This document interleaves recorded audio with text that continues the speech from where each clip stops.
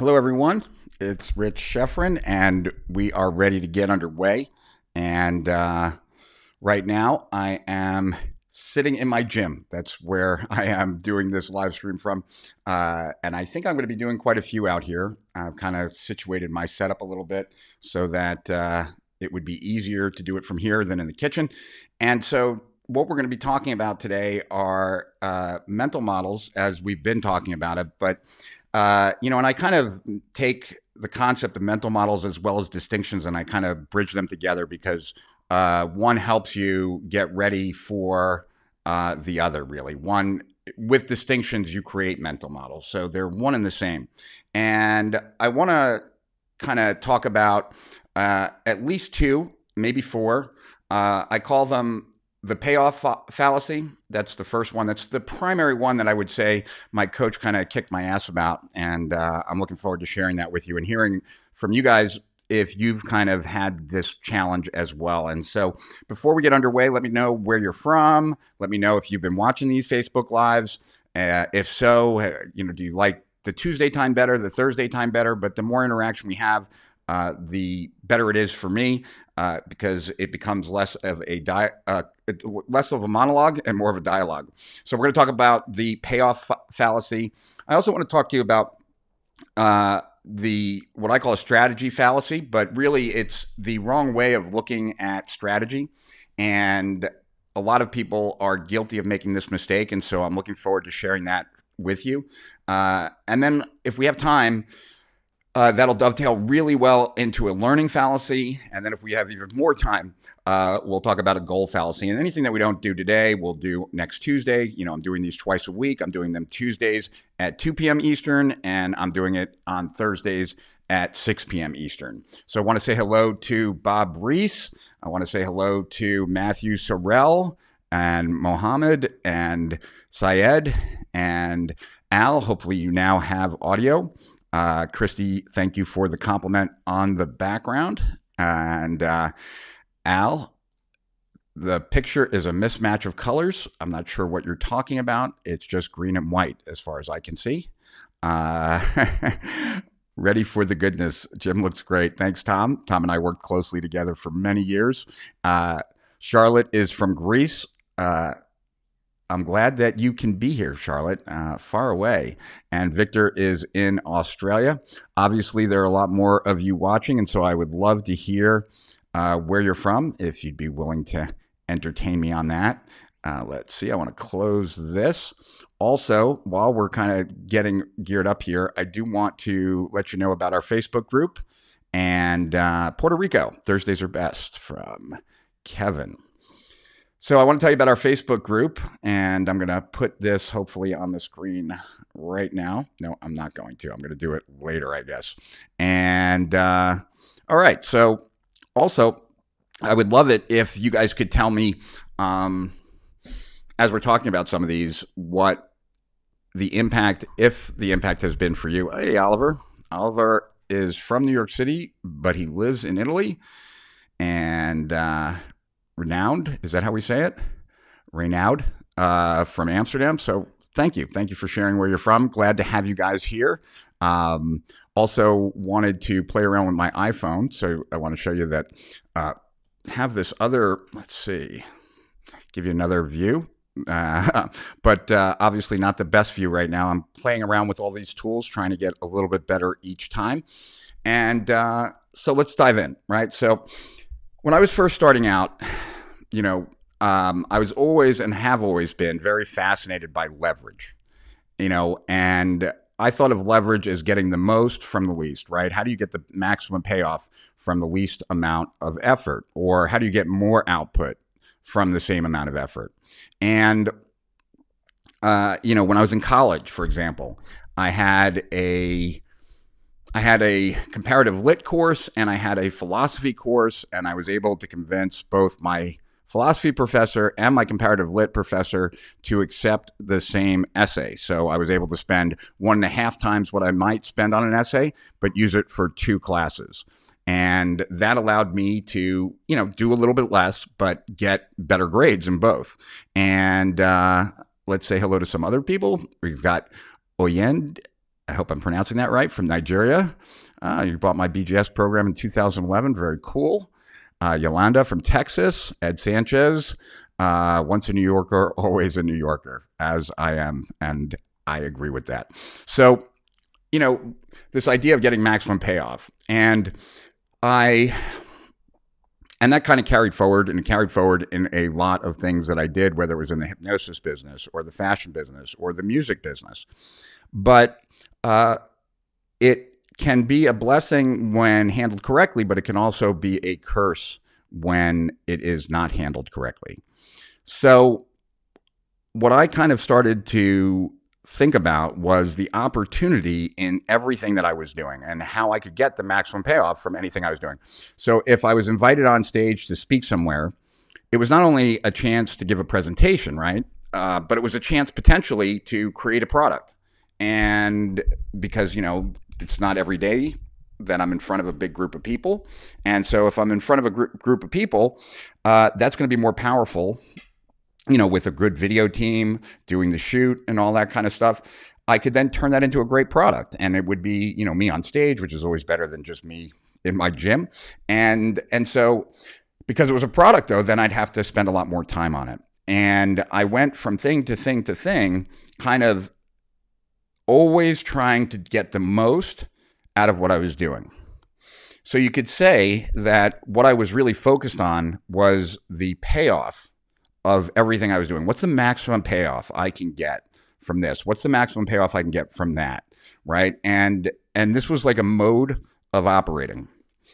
And you know, I I've never made it a secret that I have ADD, and I remember, you know, reading that first book that I read on ADD, which was Driven to Distraction by John Ratey and Ned Hallowell, and uh, you know, after that book impacted me a great deal, and about a year and a half later, I had uh, I had gotten myself an ADD coach. Her name was Nancy Ratey, who used to be the wife at that time. She was the wife of John Ratey, and I guess like about a decade later, John Ratey was my uh, it's like ADD psychiatrist for a little while as well. So I've kind of yeah, they were already divorced at that point. But so Nancy was my coach, and uh, I was behind on a bunch of stuff, and she asked me why. And I was preparing a presentation. I don't remember where for where. Um, might have been for big seminar at the time or some place.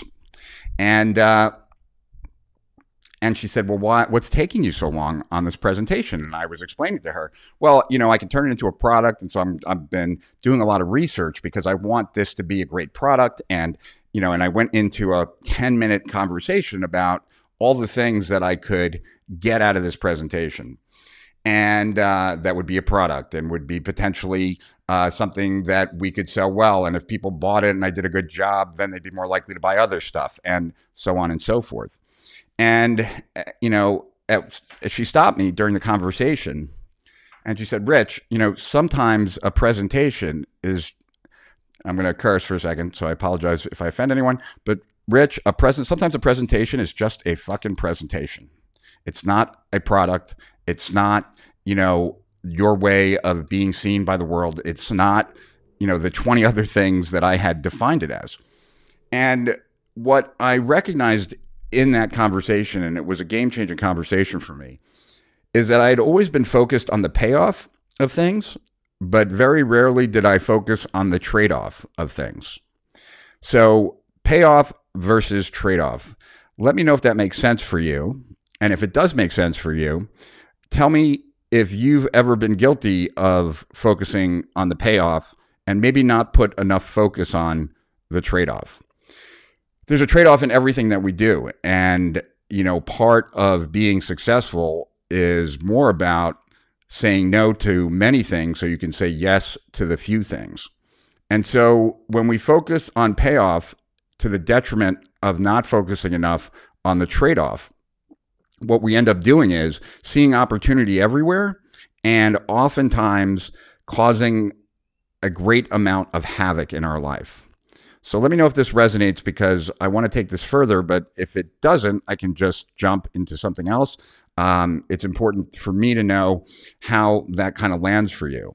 You know, does that make sense? One, and if so, have you ever been guilty of the same?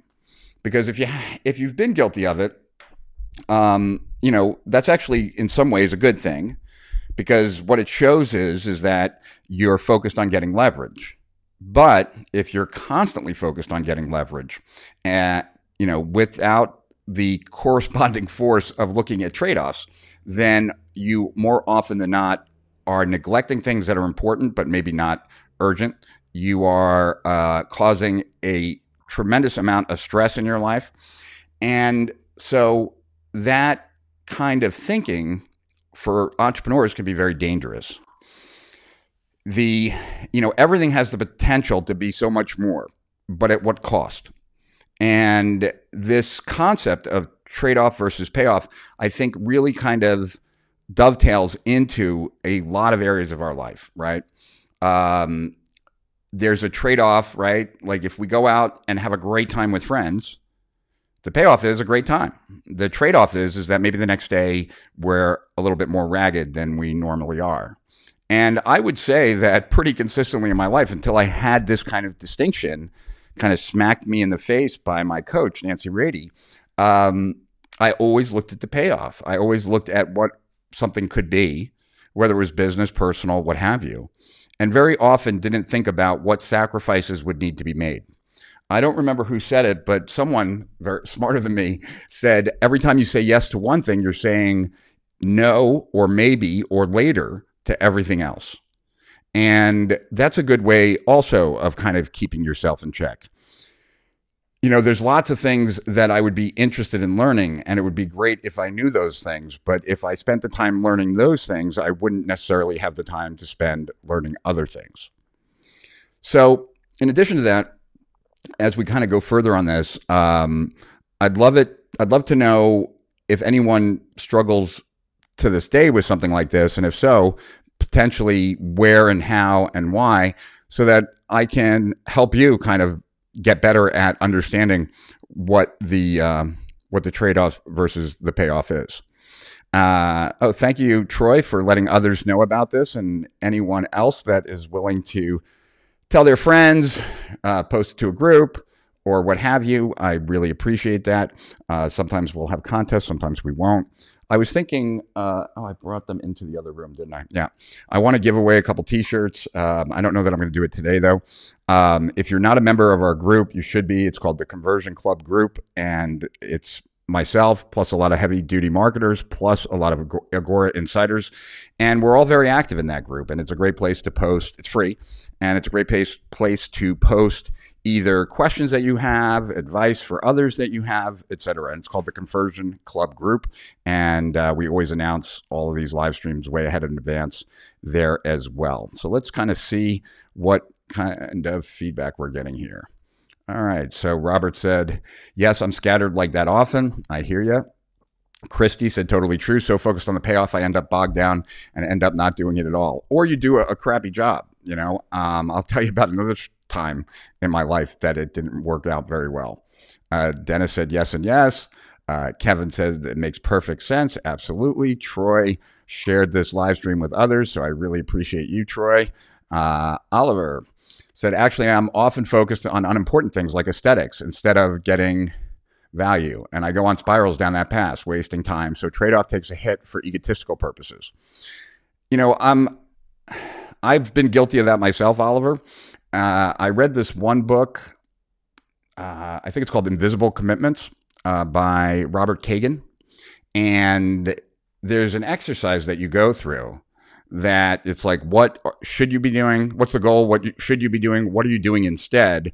And then it looks at, well, when you do those things instead, why would you do those things? Like, what benefit do you get from that?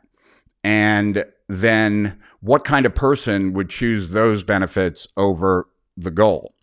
And what I came to was that I didn't really like myself. I'm not saying that you'd come to that same outcome, uh, but at the time when I did that and went through that book, I recognized that I didn't like myself that much and that what I was doing was causing me to like myself more, but at the expense of achieving a bunch of goals and it was pretty nasty. And so, if it's consistently a problem, Oliver, I would, uh, I would, or Olivia, I'm not sure if I'm pronouncing your name right, and I apologize. Uh, I would check out Robert Kegan. He's a professor at Harvard on adult uh, learning, which is more about transformational stuff as far as shifting the way you see the world.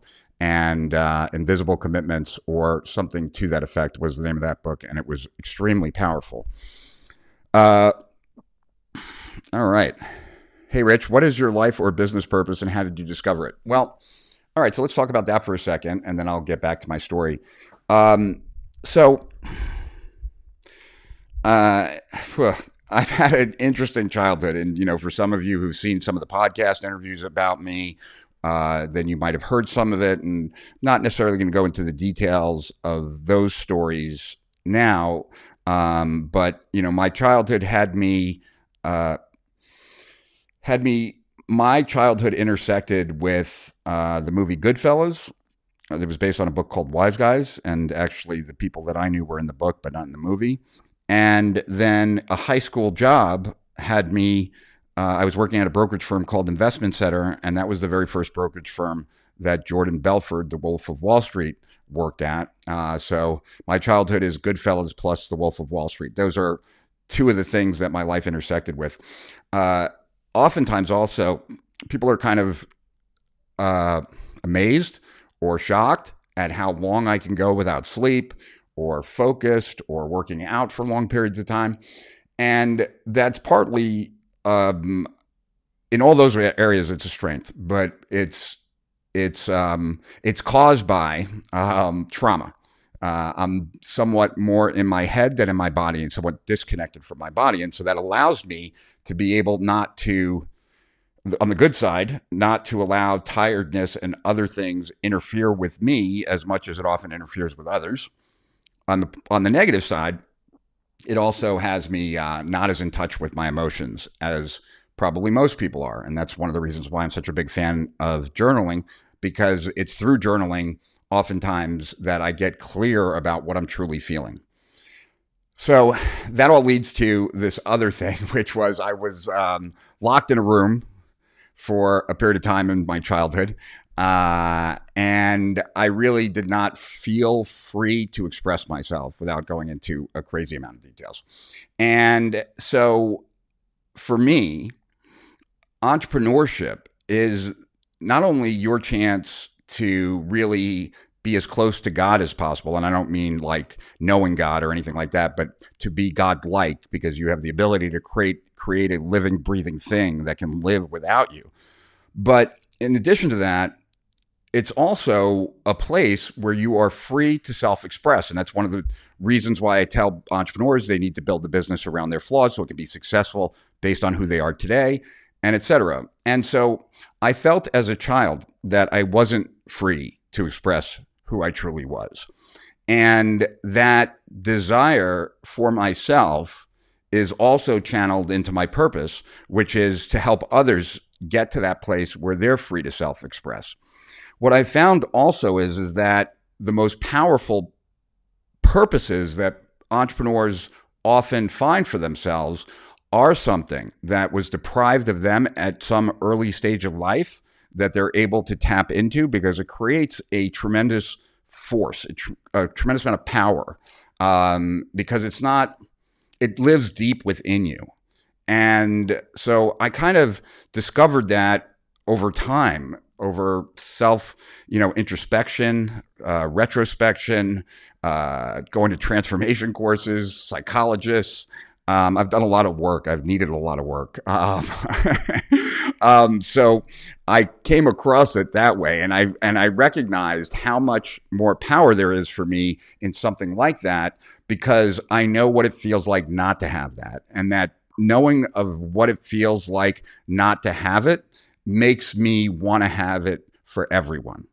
And so that's I think if more entrepreneurs looked deeper into their past as to what they felt they were missing, what they felt deprived of, what they were robbed of, what what stood in their way, and can build a bridge from that to what they've often done, uh, they will see a pattern there that they didn't know existed.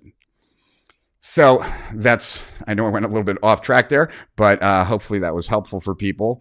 Um, I think if anyone takes the time and actually really thinks about what I just said and applies it to their own life and they're able to kind of figure that part out, um, they will be very appreciative because, like I said, um, and I've said a gazillion times, the greatest productivity secret in the world is to be extremely passionate about what you do.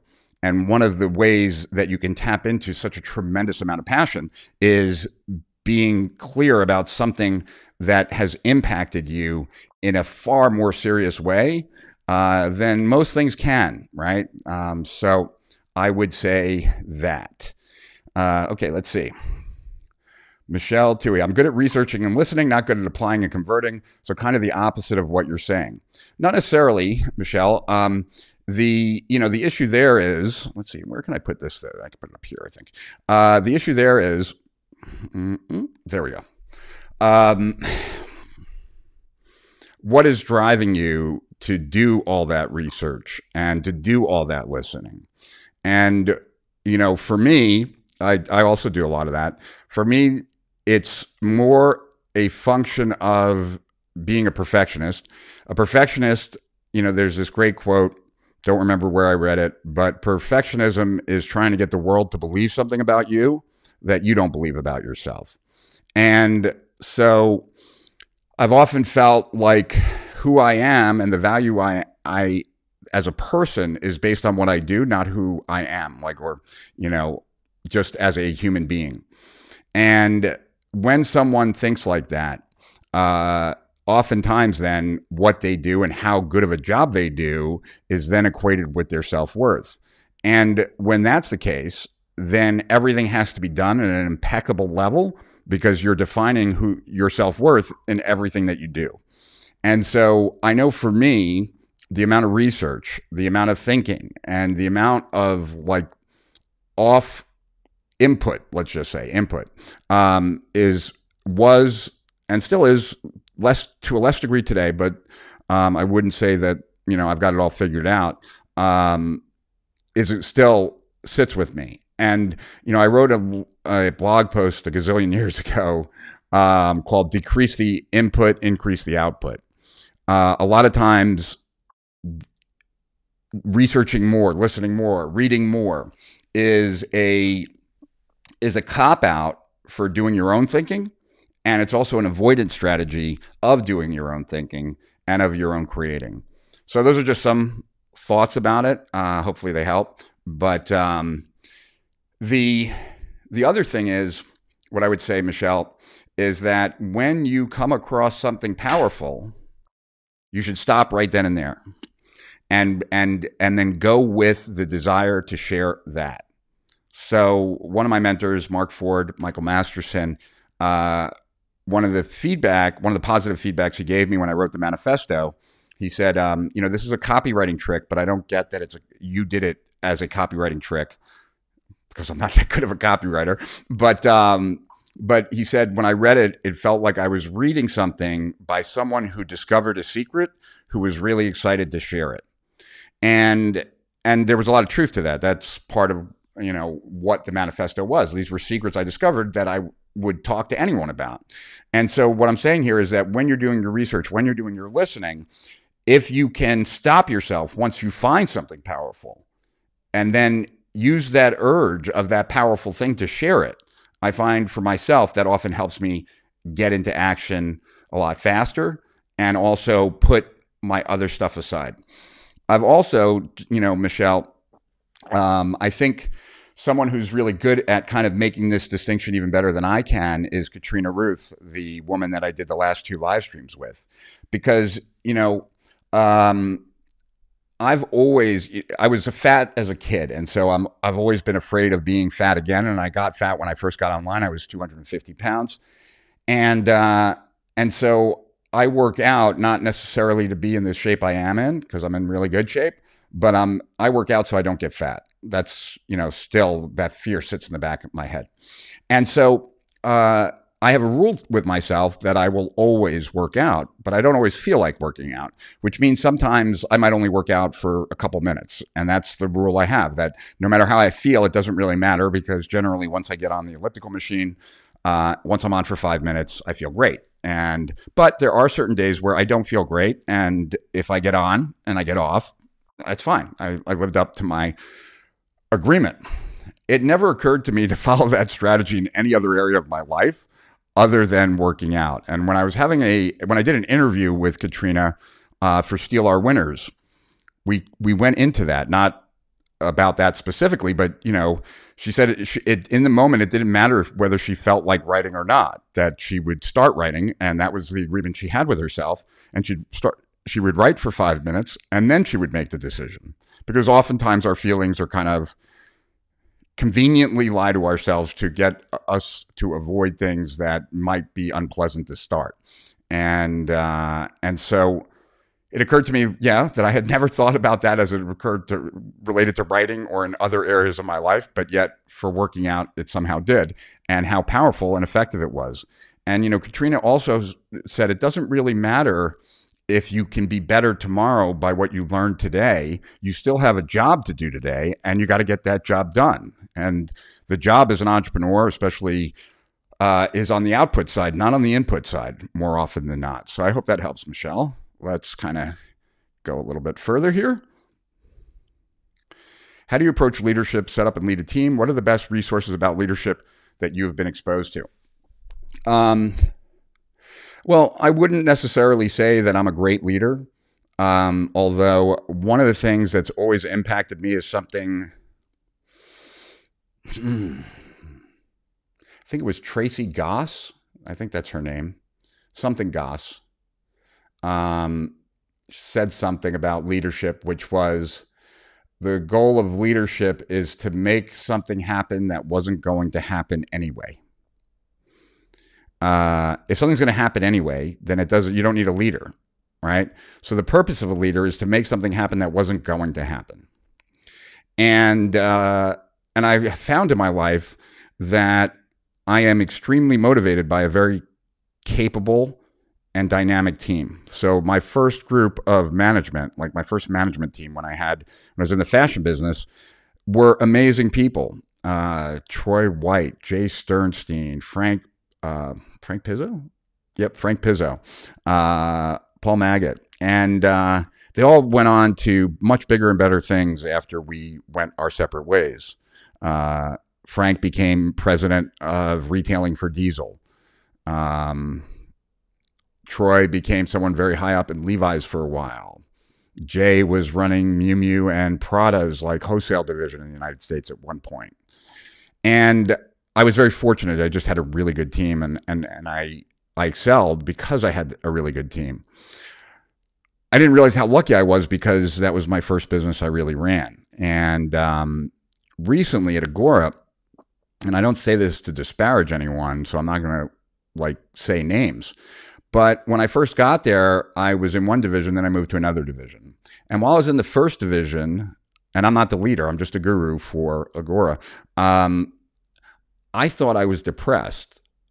And, but what I realized was only later on. Like I thought I was really depressed. I was actually somewhat concerned about myself. And uh, what I realized later on was when I moved to a different team uh, that worked at a much faster clip, a much more energetic pace where there was lots more going on and the people just were more enthusiastic that I didn't feel depressed anymore. And I was talking to a former employee of mine, uh, someone who I have a lot of respect for, Alan Kay, uh, this morning. And I was telling him about that. And he's like, hey, you always knew that. And maybe I did, and maybe I didn't, or maybe I forgot it. Um, he's like, you absorb the energy of good people around you, but you absorb the energy of bad people around you. That's kind of who you are.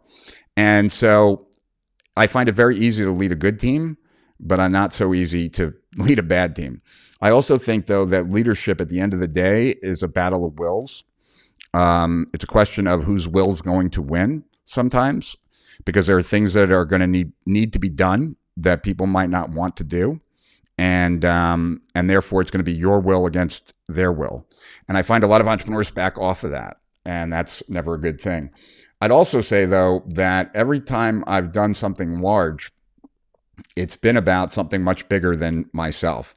And if you think about, I think many people look at great people and think somehow, some way, those people are different. And I think in a lot of ways that's a cop out because they behave differently, but are they different?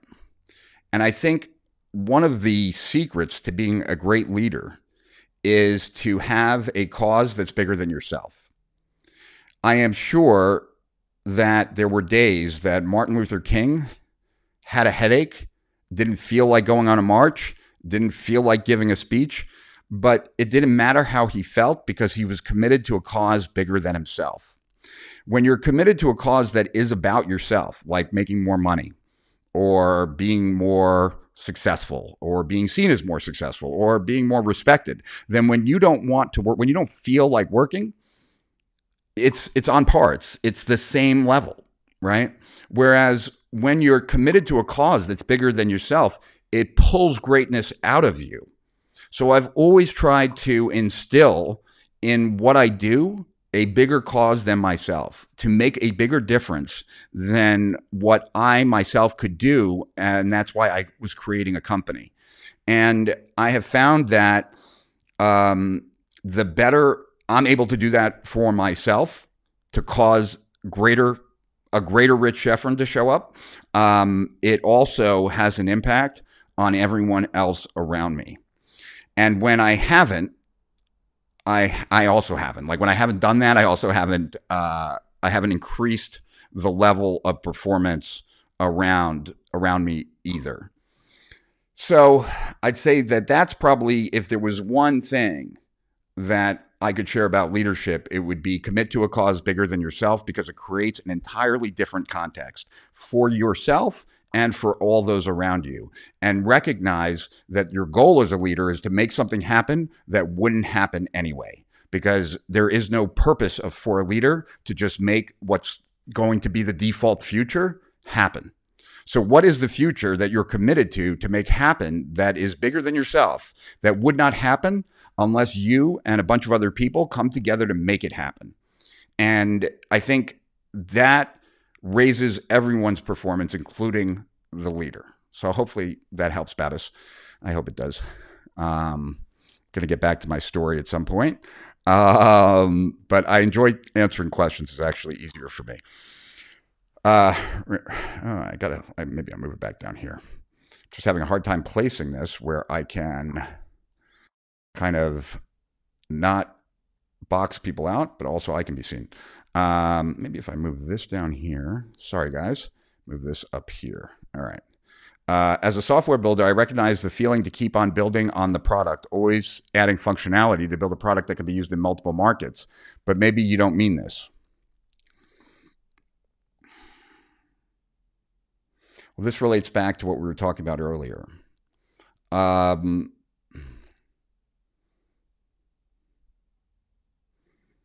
well, I'm not sure. I'm not sure if that's what I mean or not. And um, what I would say is is that you know the trade-off is there that maybe you're not building the best thing for one market, and so you have this tool that is good but could be great if it was more focused, right? And you know, one of the things that I think about business is that when you're building a business, really what you're doing is you're building a system to get an outcome for your customers. And so, like, when you look at, and this is an old kind of example, but I think it's one of the best ones, is that when you look at um, the difference between Blockbuster and Netflix, Blockbuster and Netflix were serving the same outcome home entertainment of like recent movies or old movies, right? But the system for Netflix is superior because the customer had to do less. And so your business is a system to get an outcome. And the entrepreneur or the software designer or whatever business someone's in um, that designs a better system for their customer. In other words, the customer has to do less, the customer has to pay less, the customer gets the result faster, um, whatever it is, um, is building a better system. And so, long term, the better system wins. Short term, it can be a lot about, mar- well, I'd say long term, most of the time, the better system wins, right? There's like Betamax versus VHS and that was a distribution issue more than anything else. But more often than not, the better system wins. And so, you know, is your system just good for all these markets or could it be great? And if it was great, would it eclipse someone else? And that's not an answer, that's not a question you need to answer for me. That's just more a question that I'm throwing out there for you. Richard Kent, I have and appreciate your BGS program. Are you doing any further work within it? Yeah, actually, um, I'm we're totally updating it. So we've cut it up into pieces, which then makes it easier for me to attack different. We're taking each module and turning it into lots of different cut ups. And uh, so it's not one long two hour thing. It's more like maybe 10 to 20, uh, 10 to 15 or 20 minute ones. And then that allows me to update my knowledge and add more to it. And we're working on that as I speak. So hopefully, uh, Richard, you'll see that at some point. Um, Michelle said, "Me too." So I assume that's about, uh, you know, doing too much input versus output. Uh, Victor Little, I love doing the technical and saying to myself, if I just create this, then I can sell my product better, but it equals no sales. Right. Uh, this is something I learned from Dan Kennedy a long time ago. It's not the best technician that makes the most money. It's the best marketer of that technical skill that makes the most money. So it's not the best coach that makes the most most money. It's the best marketer of coaching that makes the best most money. And so unless that technical whatever you're doing on the technical side can translate, um, then oftentimes there's a price to be paid. None of this is I, I don't see any of what I'm saying now in conflict with the better system, right? um, part of a better system is being able to market it. But what I have found, and I think I think I'm a good illustration of this, is to use the most compelling or the most sexy, for lack of a better word of describing it, concepts that I've come across in what I learned about business or what I learned about coaching to excite others to then want to do business with me. So you could say that when I was studying what I studied so I could know more about business or I could be a better coach, that I wasn't only doing those things so I could do those things, but I had an eye out for spotting those things that got me excited that I could then share with others. You know, one of the ways that I like to talk about marketing to someone who doesn't get it, right? Or to someone new to marketing or someone who I just feel could benefit from this distinction is is that like there was a time when I knew that everyone in internet marketing would do better and make more money if they if they knew more about business, right? But no one else knew that. And no one else believed that or thought that. And so one of the things about marketing is recognizing that I didn't come to that belief by accident. And I didn't come to be a business coach or consultant or strategic marketing, whatever, uh, by accident. Like I came to those things because I had a number of experiences that had led me to the conclusion that this is important. And it's important for me. And if other people knew it, it would be important for them. So I'm, but I'm talking to a group of prospects that have not had those experiences. So they have not come to those conclusions. So one way of looking at marketing is to clarify what led you to the conclusion. Why do you believe in what you sell? And hopefully it's not that because you sell it. Hopefully you believed in it before you sold it. And if that's the case, then what were those things that led you to those beliefs? Because if you can clarify that, then your goal or one like conceptual way of looking at the marketing task at hand is to give your prospects that experience, an abbreviated you know, accelerated version of those experiences that leads them to the same conclusion.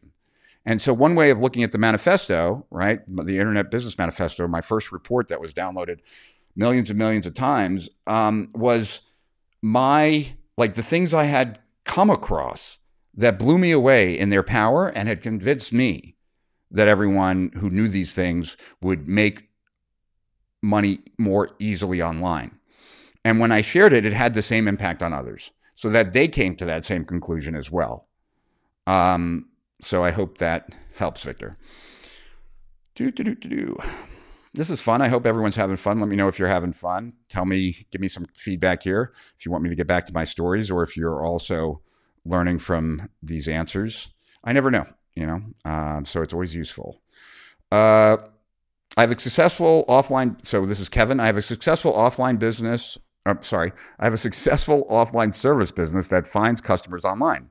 My current struggle is that I have at least a dozen different projects that are highly likely to increase revenue, but I find myself bouncing from one project to another rather than focusing on one until it's done. As a result, it takes much longer to get completion and implementation on any given project. You know what? This is a perfect time to give you guys an example if I can figure out a way to do this. And I think I can. So I'm going to see if I can use my camera, a different, my different camera, and see if I can. This is something that I taught years ago. Um, and I have a solution to, for it for you, Kevin. But I want to see first if I can do this in a way that will uh, help. So let's see. I'm trying to Let's see. Can I, let's take a look at these cameras. Cool. I think this might work. I'm going to, let's see. I'm going to put this right here for a second. And no, that's not going to do it unless I can. Uh, sorry, guys. Just bear with me one second. There we go. Okay. And hopefully, I'm experimenting. I apologize. I shouldn't probably do this while I'm doing a live stream, but um, I think you guys know I have the best. I have your best interest at heart. I really do. Um, all right, let's see. Okay, there we go. That kind of works. All right, so let's put this here, and cool. All right, so and now I'm going to move yours to the bottom here. Well, I'm going to close this, and I'm going to Kevin. Uh, so this way I have the biggest screen possible, and I'm just going to see where things stop. Okay, so it stops there. And then where, uh, let's see, we're going to stop right here. All right, and then, okay. So the problem with doing too many projects, right? And the way I like to think about it is let's say that you're working on three projects. Um, so you're working on three projects and it's A. Oh, you know what? I got to do it the other way around. Okay, hold on a second. Sorry. Uh, it's going to throw everything off. Let's see. You know what? I'll just hold. Yeah, I don't think I can hold it. All right. I'm going to put this up for a second, and we're going to do it this way. All right. Um, all right. Almost there, guys. Sorry. All right. There we go. All right. So you got, let's say you have three projects, and each project is a letter, right? So you have A, B, and C and each box is a week. So you spent one week on A, one week on B, one week on C, and let's say that all projects require three weeks, uh, nine weeks. All right, so we'd have three A's, three B's, three C's. Okay. Well, when you follow this road, right, you finish project A, one, two, three, right, and you have two weeks where it's actually been in the nine weeks that it's actually been useful, right? And you have one week where B is useful, right? And zero weeks where C is useful.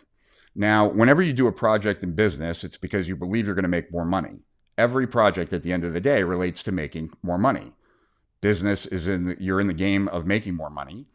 And therefore, you only take on projects that, in some way, shape, or form, are tied to making more money. Even if that project is installing better customer service programs, it's because you believe you'll hold on to customers longer. So, what happens though is that when you're monofocused, right, and you work on one at a time, right, so it's A, A, A, B, B, B, C, C, C. Now you get the payoff from A for six weeks, right? You get the payoff from B for three weeks, and C is always zero. So here you get nine weeks of payoff over these nine weeks. Here you get three. The challenge is, is that most entrepreneurs don't just do this. But the first week, it's the first three weeks, it's ABC, and then they add a D here, right? So now it's and now it's A B C D E, and they're always adding more product projects, which means, and this is kind of what I was saying earlier, that every time you say yes to another project, you're saying later to every other project, and that's I wrote about that, I believe, in the Entrepreneurial Emergency. So uh, if that's appealing or interesting to you, uh, it was a free report I wrote called The Entrepreneurial Emergency, and you could read about it there. Um, the other thing that I found, and I learned this from Tellman Knudson, and so props to Tellman. Uh, pro, uh, he has ADD, as I do. And what maybe one of the reasons that you jump from project to project is because you, whether you have ADD or you have ADD tendencies, you like the variety. And what Tellman told me years ago, which always stuck with me, is that you know you can break up a project into multiple parts, so you can still have the variety of jumping around, but you're jumping around within one project as opposed to jumping around um, from different projects to different projects. You get the same dopamine fix, you get the same variety mix, but you don't fall victim to the ABC issue. Is that cool, Kevin? Let me know if you dig that. And if you do, I would appreciate you telling others about this live stream. All right, Richard Kent. Uh, how do I journal? You should know this, Richard. I wrote a whole report called The Hidden Obstacles to Success. That is not a free report, although I'm sure it can be found. Um, and it was a how I think. And I, because I come from a place where I think most people don't think. And thinking isn't easy. And if you don't make the time for thinking, then it doesn't just happen. So I use my journal to think, to figure stuff out, and it's always near me. Um, here, I've been using the same. Whoop, sorry about that. I just lost my picture for a second. I'm sure I'm still on though. I've been using the same type of journal uh, for God knows how many years, over 25 now, and uh, each one has 200 pages. I have at least 30 of these in my safe. Um, I don't know if I'm going to burn them after I I can't really I don't know if it's not really safe to show anyway because uh, God knows what I, I I'm totally real in my journal. Which was news to me that other people aren't, because uh, I asked some friends of mine who keep a journal. I'm like, "What are you going to do with your journals when you die?" And they're like, "Oh, I'll give it to my family." I'm like, aren't you afraid of what they're going to find? And they're like, oh, I don't write any of that stuff in my journal. I'm like, oh, well, I write everything in my journal. My thoughts about people that change from, you know, time to time, like to what I think about myself to just everything. Uh, but that's where I do my thinking. I do my thinking in my journal. Um, I keep track of certain things in my journal, um, the things I want to remain conscious conscious to.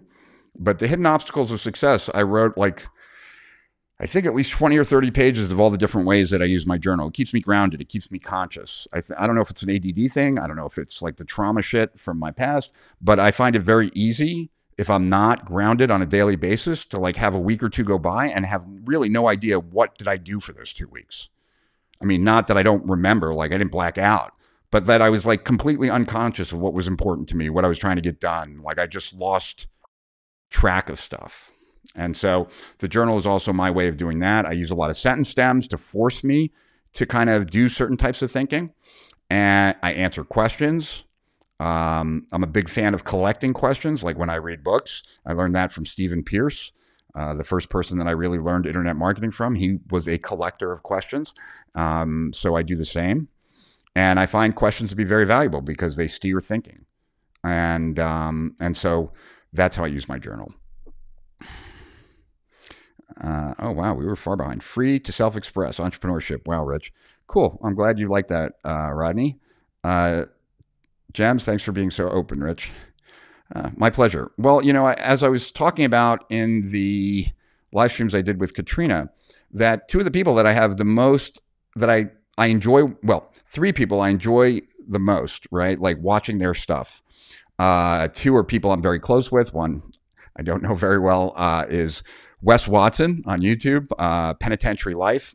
Uh, he spent 10 years in the in the California State Penitentiary. He was the head of the White Gang, and uh, he's a close friend, and uh, but one of the most authentic people I know, and uh, and I aspire to be like him in many ways, and not to have his past, but uh, to be like him now, and one of the things that he is above everything is authentic. And I feel the same way about Katrina Ruth, the the uh, woman slash guru that I just did the last two live streams with, and then Joe Rogan is another person who I think is extremely authentic.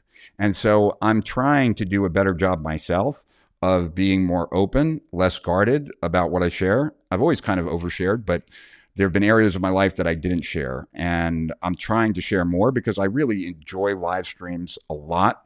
And I feel that if I could connect better with people, if people got more value from it, and it could become a more essential element of my business. And I don't believe that I'm there yet, but part of getting there is doing is practice. And so um, this is my practice, and it's my practice in getting better on camera, but it's also uh, my practice in getting myself to open up more, not about sad stories and not about like you know poor me, but in ways that I can share a story about my life that helps other people. And if it does, then that's great because that's what I'm attempting to do. You know, there's not a lot of people who I listen to when when they say something I believe 100% that they believe it. But Joe Rogan, Wes Watson, Katrina Ruth, all three of them, if they say something, I am certain that they believe it. They might be wrong, but they believe it and um, I'm a skeptical person, I guess, by nature.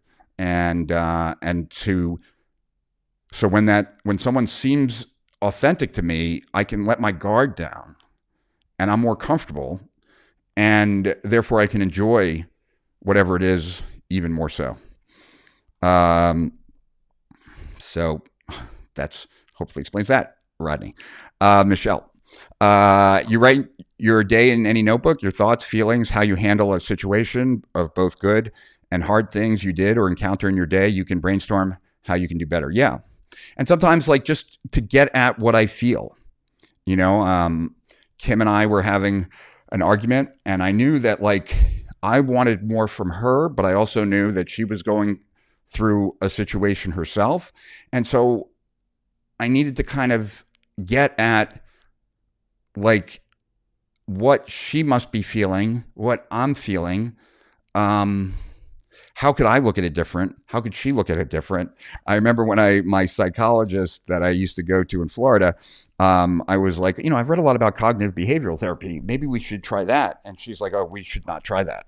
She's like, your whole journal is cognitive behavioral therapy. So I'm constantly looking at situations, reevaluating them, determining whether I acted appropriately or not. And there are many times I don't, and what I can learn from it, and how maybe next time I won't make that same mistake.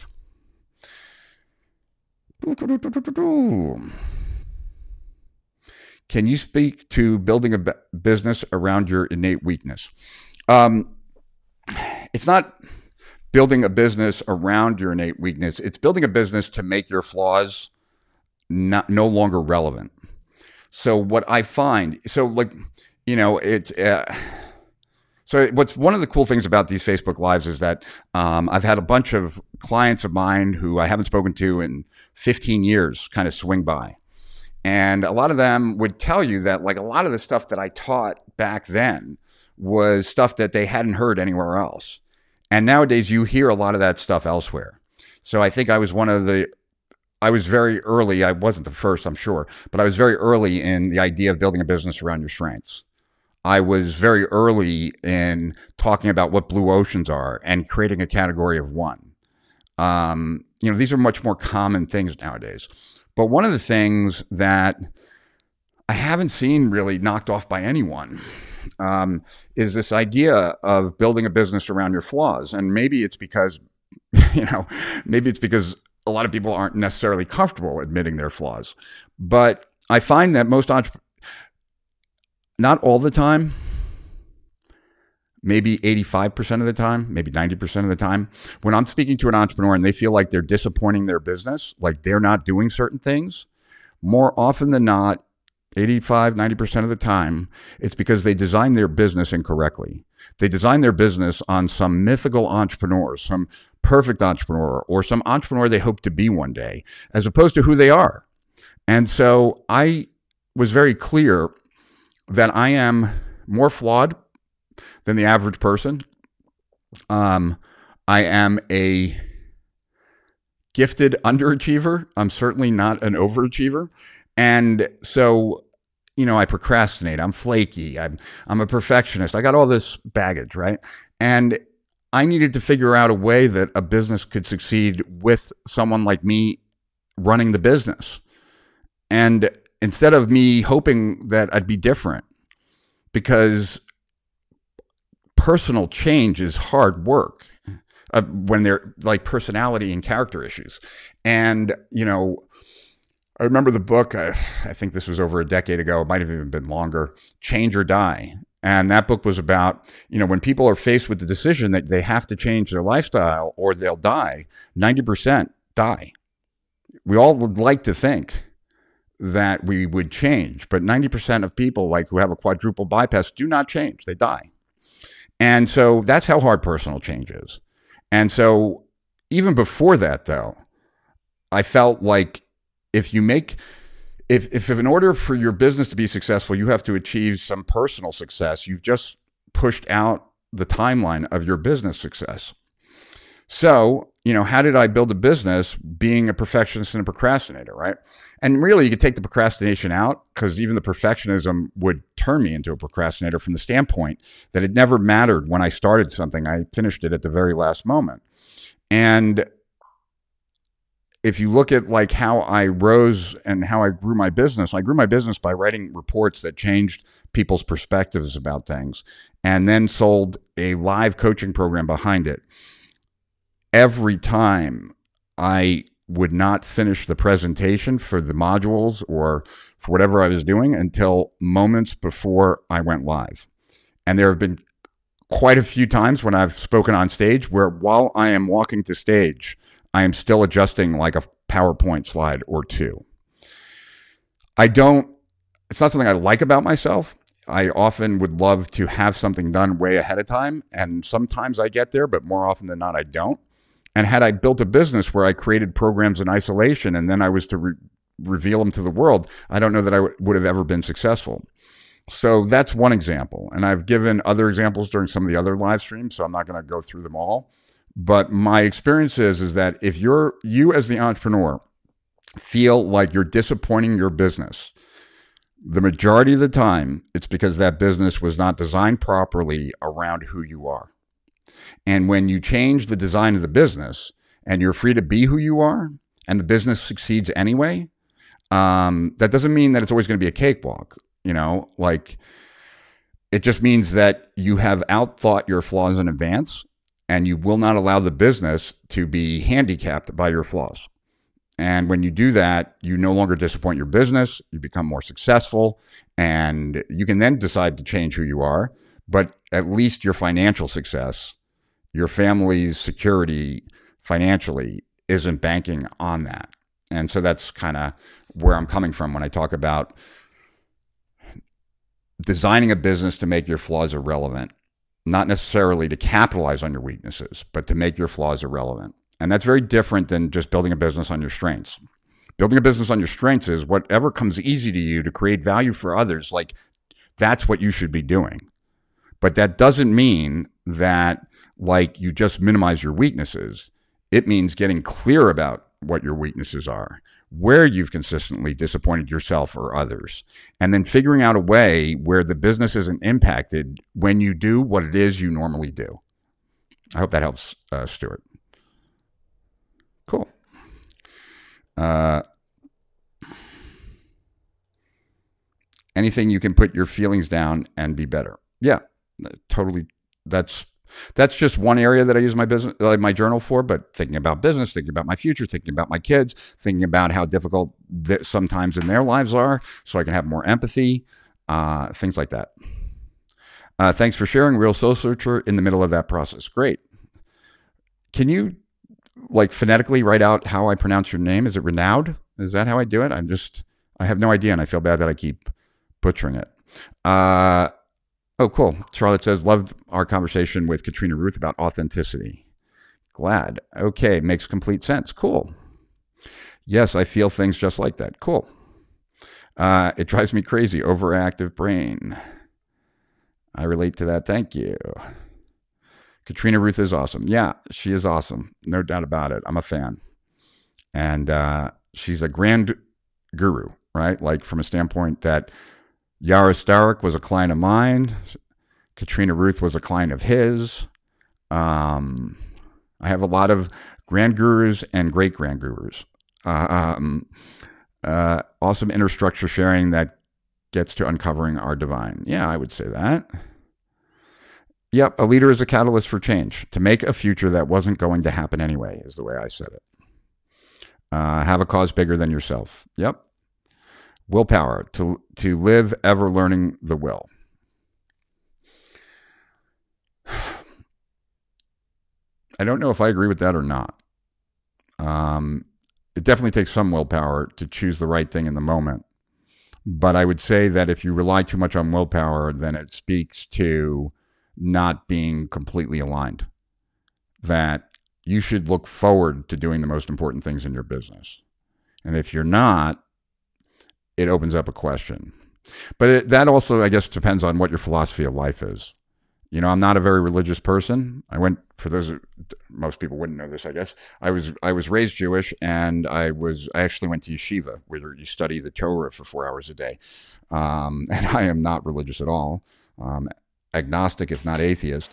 And so I really believe that you live life once, and any place that you settle in life is like you just stop growing, and there's like that's it. And I want to experience as much as I can, and I want to like ups and downs, um, and so to dedicate your life to a business that doesn't that requires you to will it like to means that it's not pulling you forward, you're pushing it forward. And I wouldn't want to do that for too long. That doesn't mean that in the beginning to get like that initial momentum, there might need to be a push. But I really, a lot of the things that Steve Jobs said in that commencement address he did at Stanford um, ring true to me. And while I, I wouldn't say that, like, if I look myself in the mirror and say, like, if today was my last day, would I want to be doing this? Um, and if I do that a few days, I know it's time to go. But I would say that I have done that. I've done that numerous times. That's why I left the fashion business. That's why I left the music business. It's part of the reason why I left the hypnosis business. It's the reason I took five years off from internet marketing. Um, I don't want to do the things that I life is too precious, and I don't want to spend any of it um, doing things that I don't believe in, don't feel great about, feel like that I have to force myself to do, um, it's just not worth it. You have one life to live. That's it, from my perspective, right? And you want to make the most of it. And the most of it is not like getting to a certain place and then coasting. Because I can tell you, like I've retired a couple times in my life too, and that was boring as hell. Um, and you know, definitely learned later in life that the the lower the lows, the higher the highs, and you know that only happens by putting yourself out there and failing, and then achieving, and then failing, and and that it's you know I feel bad for people that achieve a certain level of success and then spend the rest of their life afraid of losing it because it really keeps them trapped and it keeps their life small. Um, but like I said, that's just the way I look at things, and certainly don't prescribe uh, other people think that way unless they feel that way. Uh, what should I consider? Bailey wants to know what should I consider when transitioning from a one-man band to scaling up and having a team. Great question, Bailey. And there's a lot of ways to look at it. And what you have to be careful of is the mistake a lot of entrepreneurs make, where what what they do is they end up building a team and they find themselves actually working harder and making less. Now, they might be bringing in more money, but they're making less. And I've certainly been guilty of this uh, early on in my career and, and learned a bunch of lessons from that. So, the first thing that, like, if you're bringing on your very first employee, um, what I like to tell people is this you have to think about what is currently stopping you from making more money right now? Is it your time? Like if you had more time, you would be making more money? Or are you missing certain skills? And if you had those skills, you'd be making more money. So is it more doing more of what you do? Or is it more of if you had other skills, it's part of the mix, you'd be making more? Because that's going to determine who your first employee should be. If it's more about you doing what it is that you do, then you want someone to take some of those things off your plate. If it's more, if we had other skills in this business, um, then you want to find someone who's complementary, right, with those skills. And so that's the first thing. The second thing I'd say is that um, you also, if you can, and I think more often than not you can, not in every position, but in a lot of positions you can, to bring people in who, by their presence, make you more money. So, a great example of this is I had this um, continuity program called Founders Club. And Founders Club, when it was started, it was started when Todd Brown used to work with me. And I would write a report every other month, and Todd would write a newsletter in the months between. As I simplified my business, Todd went off on his own. My right hand guy, Brian, went to go become the right hand guy of a billionaire. Mary Ellen Tribby went to go work at Digital Marketer. My team size shrank, and because of that, um, I could no longer spend the two or three weeks writing a report. I didn't have that amount of free time. Uh, I needed to spend more time in the business. And so I ended up hiring a great copywriter and content writer named Chuck Dolce. And Chuck took over the writing of my reports. I worked with him for potentially like three or four days. I'd give him my research, I'd give him my notes, I'd give him my thoughts. We would talk it through. He would tape record it. He'd create an outline. We'd talk that through. And he would write the reports. So I went from spending two to three weeks to two or three days. In addition to that, he was responsible for the growth of Founders Club. That was the name of the continuity program. So I think when he came in, maybe we had like a thousand people in it, and he got five percent of the increase in gross. So we had a thousand people, let's say, which was fifty dollars a month. So it was fifty thousand dollars a month was coming in from that. I think he grew it to two thousand or some number right? So he got 5% of that increase. So if he took it to 2000, that was an extra 50,000 a month coming in, of which he got 2,500 for. And he was a copywriter too. So he was now focused on writing the sales letters. He was focused on membership retention. And so I made more, like $40,000 more within like a few weeks because like we had never really promoted it because no one was focused on it all the time. And I worked less. And so when you can turn an area of your business into a profit center and then tie someone in to that profit center so that you have less responsibility, um, financial responsibility, the better off you are. So I find that at the end of the day, most entrepreneurs build businesses or mistake when they do this wrong. They build businesses where um, they're the only one at the end of the day that's responsible for bringing in profit. And what I like to do is diffuse that as much as possible. I want as many people as possible in my business responsible for areas of profit because then I've got more people focused on driving the business forward. And I think that's critical. So if you can do that, um, Bailey, that's what you want to do. But that first employee is critical. And you just got to figure out do you need more time or do you need more skills? And that should dictate your very first hire. So I hope that helps, Bailey. Expand your good intentions. I'm not sure what that relates to, Chris, but uh, we are one and the same, my friend. It's been a long time since we've spoken. I still owe you that day when things clear up, or a few hours, or whatever I agreed to. Um, uh, we'll do that. I'm a hooker. I hope that's a good statement. I think it is. Uh, generally, don't think of hookers as necessarily good things. Uh, huge. I'm hoping that that that was related to whether you're getting value from this. Okay, uh, Gianni. The mental model you shared the other day, little bets, truly inspired me. I tend to make things more complex than they need to be. And the idea of little bets has already helped me to approach new marketing funnels in a different way. How do you usually go about testing new ideas? Do you have a process for that? Thanks, Rich. Yeah, well, it depends, uh, Gianni. So you know, I've it. Sometimes I do, sometimes I don't. So first, uh, generally when I have an idea, um, I like to bounce it off a few people generally, right? And then I have a few people that I like to bounce ideas off of because they are extremely curious type people and they will make the idea better by just asking me lots of questions about it. So one person that comes to mind is Jay Abraham. So whenever I have a new idea, I generally call Jay because Jay is always curious and he wants to know more. And by knowing more, he pulls out from me a better version of the idea. And so often I'll tape it as well.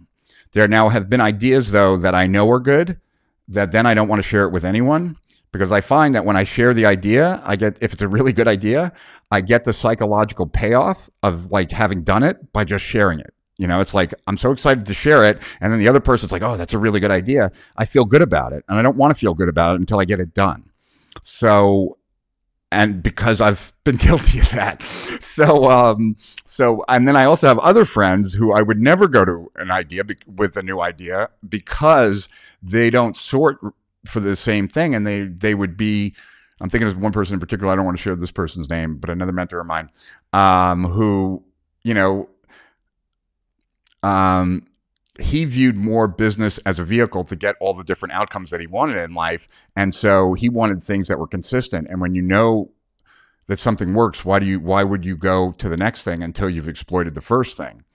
Whereas like my personality and Jay's personality, we look at ideas and concepts almost like one night stands. Like we we bring it back to our room, we have our way with it, we dominate it, and then we want to move on to the next thing because that's where where the next exciting dopamine fix is or where the next challenge is. What I've learned over the time is that I have to hand those things off to other people who can continue to grow it so that I don't lose out. Um, but uh, generally, it's that. Um, I share it with other people and I and I gauge their reaction. But first, I generally share it with a few people that get the idea better. Um, but I then have like if I was going to write a report, a lot of times I if I when I was doing a lot of presenting, I would take the main ideas from the report and put it into the presentation and I would judge by how the crowd was responding and my own feeling like could this lead to a sale if I wanted to or would it be difficult? And there were numerous times where I thought I had a great idea, but when I turned it into a presentation, I realized I'd, I'd, be very difficult to sell people now on this. And then I realized that it wasn't as good of an idea as I thought.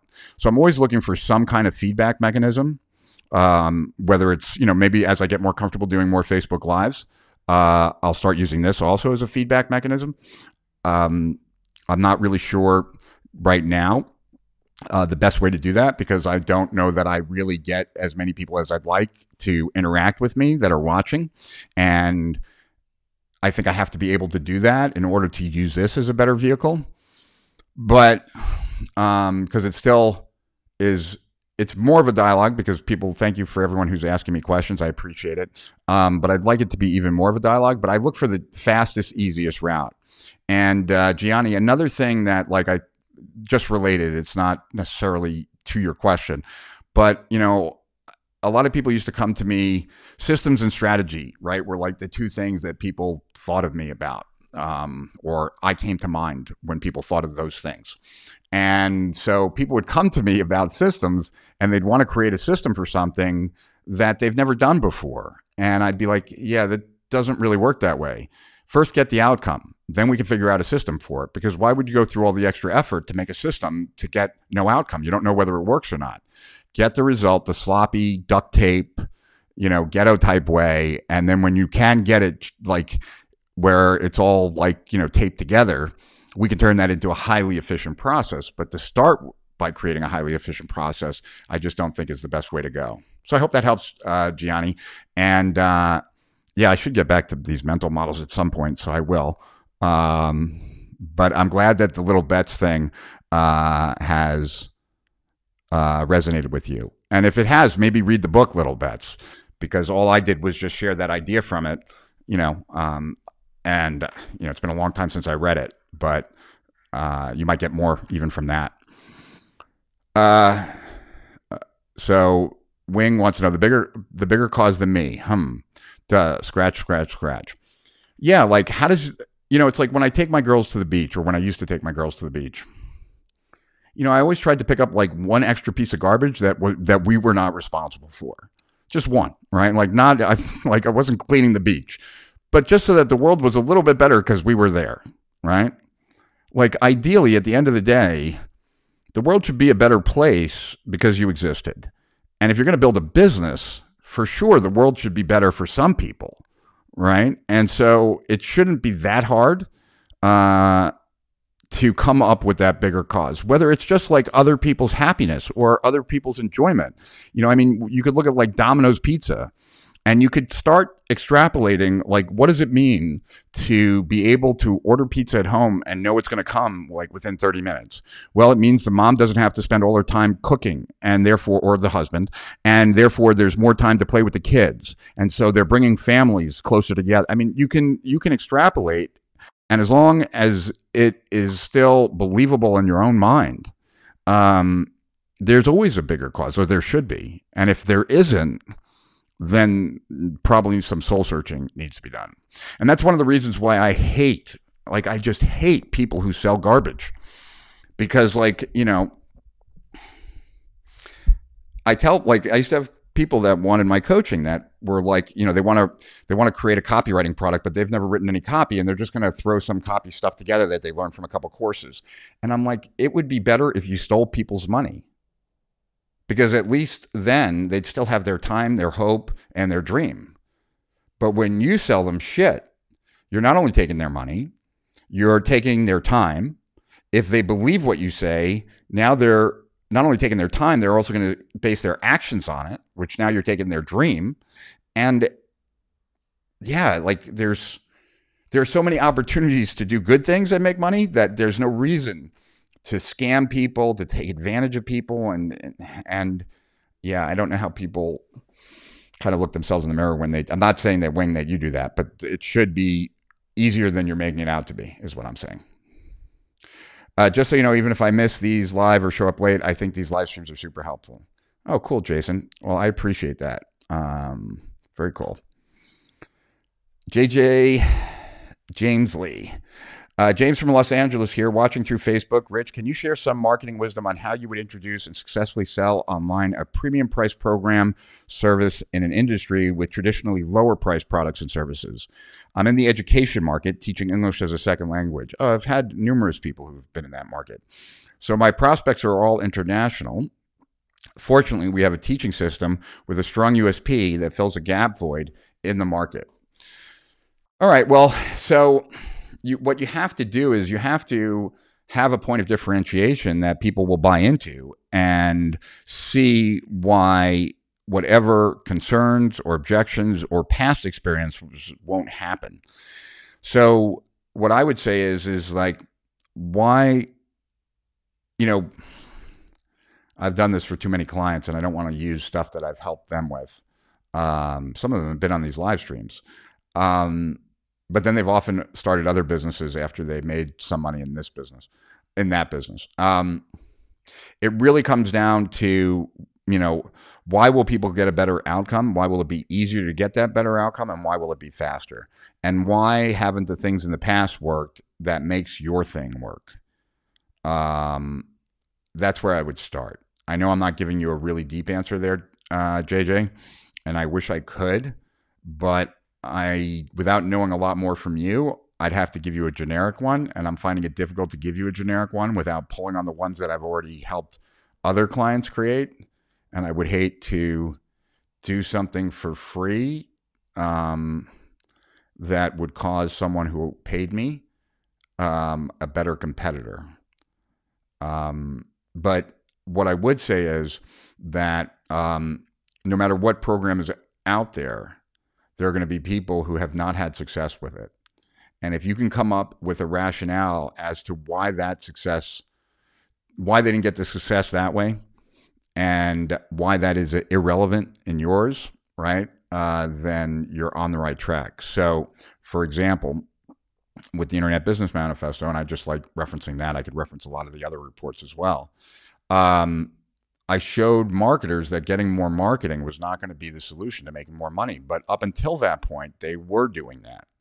So I could show them that their current gap between what they wanted and where they were was actually caused by being too marketing focused. And so people were now willing to spend a bunch more money on something that up until they kind of heard got my perspective on it, they were totally not interested in because like they could see how their efforts in the past were futile and why it would work now. And I think that's one of the main reasons why uh, it went viral and all that kind of stuff. Uh, Charlotte wants to know what is the BGS program. So that's my original coaching program. Um, that's the one that Ryan Deiss went through, Todd Brown went through, Russell Brunson, and all the different people that you've heard that I've coached. Um, yeah, that's my original coaching program. It's uh, right now we're not marketing it, um, but we will be shortly. And uh, it's also where you get the opportunity to talk to me personally, like you know, in a smaller group, just clients, um, every two weeks, where we really dive into whatever your issues are, and I help you get over them. Um, so it's called the Business Growth System, BGS, and that's what it is. And then I had another program which will probably roll out, but not anytime soon, called GPS, which was based on theory of constraints. So I taught theory of constraints, and that's it's guided profit systems like a GPS system because it shows you the exact point in a business where the current constraint is and how then to eliminate it. So BGS and GPS were my two core products. Uh, Ryan. Hey, Rich. I like that photo, Ryan. You look rather dapper and cool there. Uh, hey, Rich. Got on late and can't stay. Just wanted to wish you well and watch the replay later. Cool, Ryan. I'm glad that you just said hi. Uh, anyone who stops by, uh, I appreciate it. Darn, I missed it. What did you miss? I'm not sure what you missed. Uh, Rich, do you think a free course is a great lead magnet? Also, what are your thoughts about being using a $49 live masterclass as a front end? Do you think that with such a front end product, you can advertise for free and also make a profit on the front end? Uh, not for well, I guess it depends on the market, uh, Babis. But uh, is that you bungee jumping? That's cool. I've never bungee jumped. I've always wanted to. Skydiving was so not thrilling. I have a feeling that would be a lot scarier. Um, the at Agora, uh, we'll sell a $49 newsletter. The average cart value will be somewhere between 100 and $125 with upsells, and we'll spend that plus what we believe we can make in the first six months from the average pros- customer. So oftentimes we will our budget will be an allowable acquisition cost of $250 to make that $49 sale. Now, obviously, we're trying to scale in a massive way, so that's one of the reasons. But um, a $49 product, for the most part, if you're selling it to cold traffic, um, you're doing an amazing job if you are at break even. And if you're much higher than break even, then you should be getting more customers if you have more things to sell them after, and you should. Um, the days of making money on a front end are for mo- in most niches and industries online are are gone. Um, that's not to say like you know I have friends right now that are making a killing selling masks and things like that, but that's not that's a totally different game. And then you have to be very good at traffic and you have to be good at other things. So um, the purpose of the first sale is to create a customer so that you can then have that customer with you for some period of time where now you can increase lifetime value. And and the more that you're capable of doing that, the better. Now in the beginning it's hard because like you don't have a lot of money and and then you know you might want to think about having maybe not a front end but having like a back end that you're using as a front end um, because it will subsidize a lot more cost or in the beginning sell a service um, so that you know you'll still have a cost per acquisition issue, but services generally you can charge a lot more for because it's personalized. And so all of my coaching programs were services, right? A coaching program is a service that I turned into a product by recording everything and then having it turned into a product. But I got paid to create it by pre-selling it through reports and then you know launches then created it got paid throughout then had a product to sell after that um, a free course could be a good lead magnet, but um, but what you but then the course should be short because you don't want to like sell against yourself. Like it's harder to sell someone a bigger course if they didn't finish the smaller course. So you want to leave them wanting more. And so, you know, be, the shorter, the better. I hope that helps. Uh, fun, fun, fun. Uh, Erwin, uh, hi, Rich. Always interesting listening to you. Glad to hear that, Erwin, and thank you for the compliment. Uh, Robert, any and all, you never know where a nugget may be hiding. Uh, okay. Uh, totally fundamental, Rich. You drop a ton of value bombs with each broadcast. Thanks, Chris. Uh, Ecamm experimentation, yeah, uh, totally. And uh, let's see here. Hold on. I wanted to see if I could do this for a second. Let me know. Um, yeah. Okay. So let me. Hear, do you guys hear like the crowd?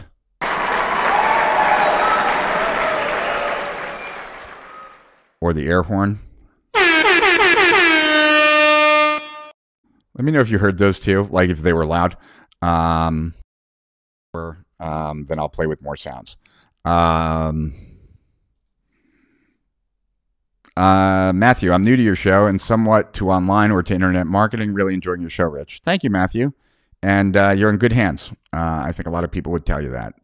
Um, I learned this in the Internet Manifesto. Uh, I'm not sure what you're referring to, but I'm glad you read the manifesto. So thank you, Ryan. Uh, yep, that's me. A B C D E F G. Right. So um, yeah. So then the idea there is to instead of doing that, break up the one project into multiple pieces, so you get the feeling of A B C D E F G H, but you're just advancing one project. And I think, uh, and like I said, I learned that from Tellman. Uh, yes, I got that report, Entrepreneurial Emergency, and learned what you just shared. Okay, cool. Cool, Jason. Yeah, that's where I thought I wrote about it. Uh, yes, absolutely, tremendously helpful. Cool. Uh, true. Oh, let's see. Cool. Um, true, most people don't think. Some people think that they think. Lots of people would rather die than think. Yeah, thinking's hard work. Uh, and like I said, if I wasn't writing in my journal, I could spend all day not thinking. Um, it, you know, uh, you can always burn those journals. Yeah. Well, I wouldn't burn them until I die because uh, I do go back to them, and every once in a while I read uh, I read them through. And uh, you know, one of the interesting things is to when you've kept journals as long as I have, is that is how oftentimes like you're run. i I've run the same pattern with people with things in my life that I would have never seen had I not had the ability to go back 25 years and see the patterns. You know, some of these patterns are 10 year patterns, right? I've only been through them like two and a half times, but that was enough for me to be like, oh, okay, I've, I've, I've thought this exact thing 20 years ago, 10 years ago. Like, I see where I see this. Um, so yeah. And, uh, yeah, uh, the five dollar psychologist, aka the journal. Well, you know, it's even more than that, Hayden. I'd say that most people don't benefit from their life experience anywhere near as much as they should. And the best guru, the best psychologist, the best whatever, it has cannot compare to a long, uh, to keeping a journal for a long period of time. They just can't because they don't have the backstory. They don't have the history. They don't have what your true feelings were throughout every moment of, you know, of your life. And things change over time, right? Like, you know, I I can relate back to how I felt before I wrote the manifesto because I have my journal entries from there. And so my experience didn't color it later on to make it something it wasn't. Um, and I find that very valuable. You know, it's kind of like my dad was a good storyteller, and over the years, like the stories got bigger and bigger. And I probably am guilty of that too. I think we're probably all a little guilty of that. But when I look back at the journals, like I am at least reminded of the truth. Uh, well, yeah, Ryan. I mean, he said most people can't think, never learned how. And if honest, we all suffer from non thinking to superficial thinking. Yeah, well, like I said, thinking is hard work. And so it's taking yourself off automatic pilot. It's like putting all your energy into your like prefrontal cortex, I guess. And um, if we we we wouldn't be able to handle that kind of thinking for really long periods of time. Like I I don't remember the stats, but it's like you know, well I know the brain is only like five percent of your weight if or less or mass and uses up like 20% of your calories. And a chess champion can lose like 7 to 11 pounds in a day uh, playing chess all day um, because it's such heavy duty thinking, right? Uh, you are doing a great job, Rich. I am impressed with your live streams. Cool. I appreciate that, man. Um, I'm trying. I'm, i want to get good at this. Uh, this is like my next mountain to climb. Uh, Wayne, thank you for your honesty. Yeah, you will always get my honest answers. You might not like them sometimes, but you can know that at least I'm giving you what I believe to be true. Uh, you are way better than several years ago in this arena or area. Thanks, Jack. I appreciate that. Um, that's what I'm trying to be. The most honest people on earth, the televangelists. I hope uh, I hope that's a joke. Uh, at least I think it's a joke. I, I'm going to pretend it's a joke. Um, Dan, got to go, Rich. Thanks for sharing. Uh, look forward to your next one. Uh, every Tuesday and Thursday, Robert, I'll be here. Are you uh, longer in Florida? Uh, well, I made a I made a deal with my girlfriend that I would move to New York because my um, eldest wanted to go to high school in New York. So she graduates this year, and the deal was when she graduates, I move back down to Florida. So we still have our house in Delray, and um, and we have an apartment in Manhattan. And uh, with Agora, I'm in Baltimore generally a couple days a week, but since quarantine, I haven't been there. And right now we're in our Hamptons house, but I'm looking forward to not having a place in Manhattan, not having a place in the Hamptons, and spending most of my time back in Florida, except maybe in the winter, maybe going way north um, where it's cold. But I love Delray Beach, and I can't wait to call that my home again. Uh, Chris, to most people that only change that they like coins in their pocket. This is true. Uh, Carl, Dubcats, I really enjoy your live streams. I'm always learning something. When you talk about making your business fit you instead of changing yourself, it really resonates with me. It has really helped me get my business back on track. Many thanks for sharing your insights. Yeah, you know, I think that's one of the benefits of having your own business. One of your benefits of having your own business is that you make up the rules. You know, and that's there. There's that. Um, George Bernard Shaw quote. Maybe someone can put it in the text because I'd love to see it. But it's like the reasonable man like uh, bends himself to the world. The unreasonable man bends the world to himself. Therefore, all progress relies on unreasonable men. And you could put men and women. I, it was a different time when he said it. Um, but uh, bend the world to yourself. Make the world fit you. Um, if you know the Enneagram, I'm a four. So that could also be an excuse. I think I'm different. So I want the world to bend to me. I don't want to be like everyone else. ADD is probably also a reason. Like I'd like to do things differently. But I just find that like I just don't believe in in sacrificing who you are if you if you can avoid it. Um, think this is. Uh, hi, Rich from Tokyo. I shared the live to my pages. Thanks uh, Miboso. You know, we also have a um, strategic profits in Japan. It's strategicprofits.com for uh, strategic profits period JP. And uh, actually, there's a guy that is Rich Schefren in Japan um, who's better looking than me. He's taller than me. He dresses better than me. Um, he's a better Richard Schefren. I've gone to Japan a couple times to speak. Um, and there's always like big crowds there. It's like I'm a I'm bigger in Japan than I am in the U.S. and um, and I can understand why when I met the Rich Schefren of Japan. Uh, so it was kind of cool. Um, thank you so much for your authenticity. I am so imperfect and I'm absolutely okay with it.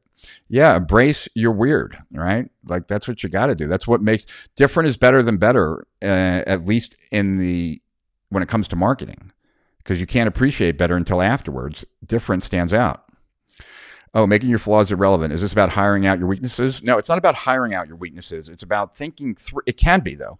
It's about really understanding what your weaknesses are and designing your business so that that is like not an issue, right? So I gave the one where like where I'm a perfectionist, and so I would if I had to create a course, I would just never finish. I'd just always be working on it. I'd never feel comfortable um, pressing done, right?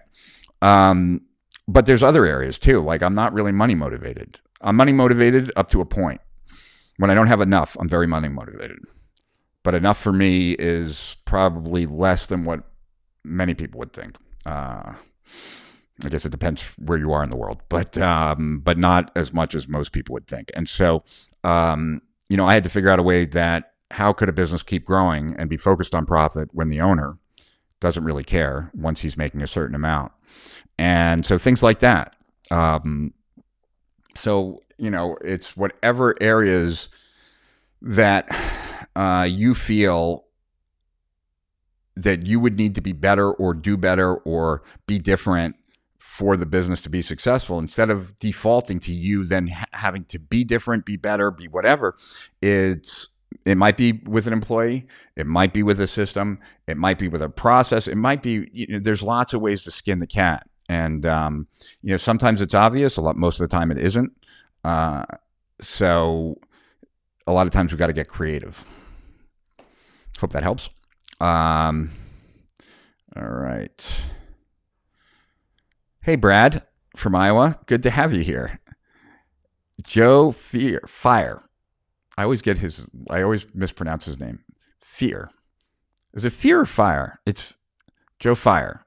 Joe is one of the best people in the podcast game and someone who I've learned a lot from and someone who is going to help me roll out my podcast, him and Matt Wolfe, his partner. Um, and actually, these Facebook Lives are also like my training in getting better uh, at doing podcasts and things like that. And one of the things, though, that for me, it's a hundred times easier to sit here and answer questions and have a dialogue than to um, than to come with you know pre-done material.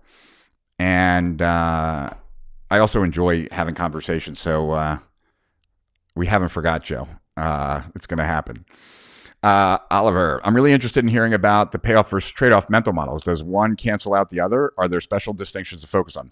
Well, okay, so yeah, let's get back to that for a minute. Um, so it's not that one cancels out the other. It's that you know if you're only focused on the payoff and not the trade off, and and then what you end up ha- what ends up happening is that you just either fall down in many areas, or um, you run yourself ragged or you fail at everything or you know it's a good skill to have when applied appropriately but you always have to be cognizant of the trade-offs. And every and you know it's like the abc example is a great example of that. Every time you say yes to another project uh, you're saying later to every project that you've already started and you're also pushing the payoff further back which is the trade-off right um, more things can be achieved with focus than anything else. I mean, you can take the sun, right? Just regular sunlight, and with a magnifying glass, you can start a fire with it, you know, or burn a leaf or what have you because of that focus. And so, being able to say no to lots of things is what's required to achieve success. And what what most people don't realize is that the more successful you are, the more things you get invited to be a part of, which means that if you don't have that no muscle already somewhat like developed, you will find yourself um, not being able to sustain that success. So, you know, when I was unknown, um, no one was calling me to invite me to events or to do podcast interviews or whatnot, right? Um, when I was really well known, um, I got invited to that stuff all the time. And if I said yes to them all the time, I would get nothing else done. I'm not as well known as I used to be because I took five years off. And that's okay. So now I can say yes to a lot of things because I'm not, you know, a few people invited me onto their podcast from like these live chats and I was like, yeah, sure, because I'm not at the point where I've like started to really market myself in a broader place yet and so I still have that freedom. But most people don't realize that if you don't develop like the focus muscle or discipline early on, you're going to be decimated later.